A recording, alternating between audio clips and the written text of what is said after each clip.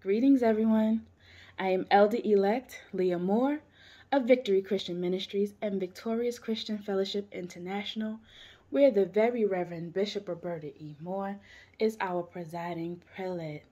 Victorious Christian Fellowship International is a fellowship comprised of ministries of like minded faith, looking to build the portion of, of the kingdom that God has given us with souls who love God and souls who are willing to do God's work for His glory. Today is day eight. We made it to day eight, y'all, which means we have two days left to make up our minds if we actually want to break the it that is trying to break us. And then we have an additional 30 days to do what? Let me hear you. That's right. Put in the work. Brief recap. Yesterday we spoke about know that the truth that we set today will have an effect on our tomorrow. We were encouraged to make it a good one and make it a God one. For with God, we will never lose. If you weren't able to see that yesterday, please go back after you finish watching this one and watch that broadcast, that episode. Today, we will tackle point three of the knowing um, how to make up one's mind. Today, we are going to tackle point three, which is know that what you think on will either help you or hinder you. I'm going to say that again. Know that what you think on will either help you or hinder you. Tonight's breaking news is choose already. Mm-hmm.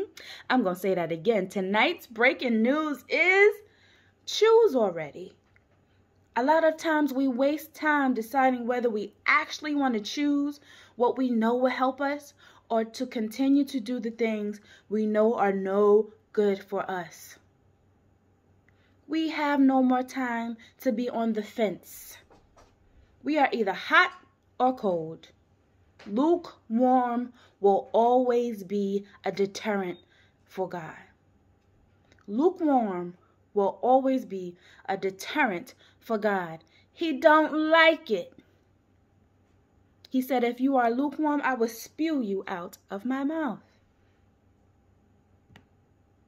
Joshua 24 and 15 says, And if it seem evil unto you to serve the Lord, choose you this day whom you will serve, whether the gods which your fathers served that were on the other side of the flood, or the gods of the Amorites, in whose land ye dwell.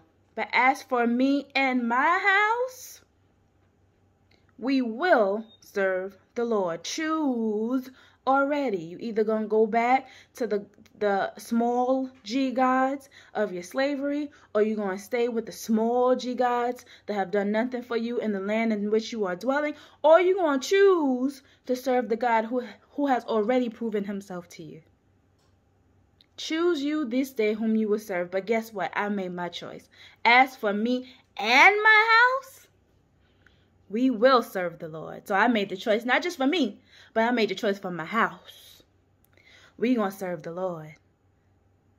Remember, in all that we do, we either glorify God or we reject him.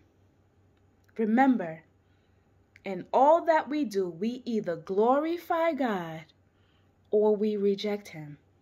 Choose already. Well, y'all, tonight was a brief one, but a good one. Once again, I am Elder Elect Leah Moore of Victory Christian Ministries and Victorious Christian Fellowship International, where the Very Reverend Bishop Roberta E. Moore is the presiding prelate. Please stay tuned for all of the wonderful, wonderful, wonderful events that we have in store during our 40 days until it breaks movement. It has been a blessing so far. We are on day eight, y'all. We are on day eight, and I know there have been a lot of people that has been blessed.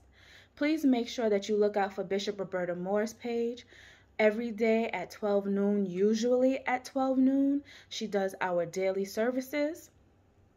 And if there is a, a time change, that will be broadcast on Bishop Roberta Moore's page and Victorious Christian Ministries page. It has been a blessing. When you see those services go up with our bishop, our presiding prelate, share it.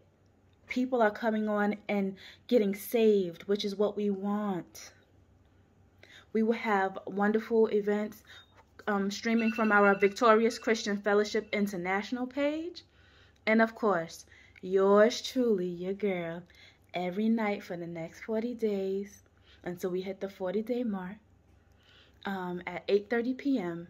I will be broadcasting our own breaking news broadcast where I encourage you to break the it that is trying to break us and where we get to do the work together. Once again, I am Leah Moore, and this has been Breaking News.